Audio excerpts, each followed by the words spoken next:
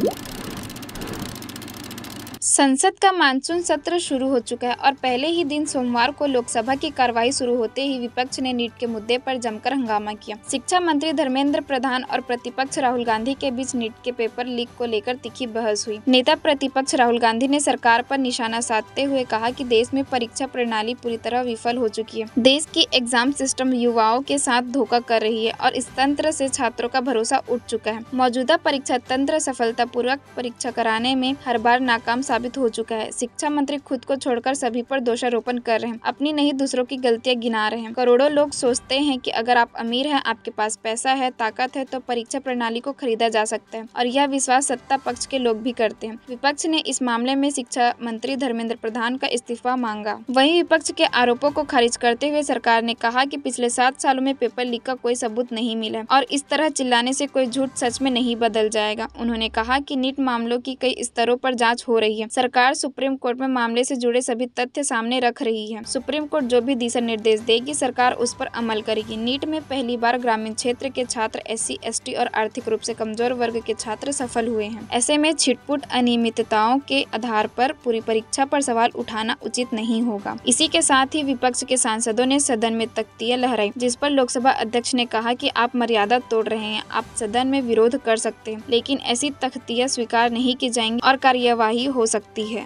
देश प्रदेश की सभी बड़ी खबरों से जुड़े रहने के लिए हमारे यूट्यूब चैनल को लाइक, शेयर और सब्सक्राइब करना ना भूलें। साथ ही लेटेस्ट खबरों के लिए बेल आइकन को प्रेस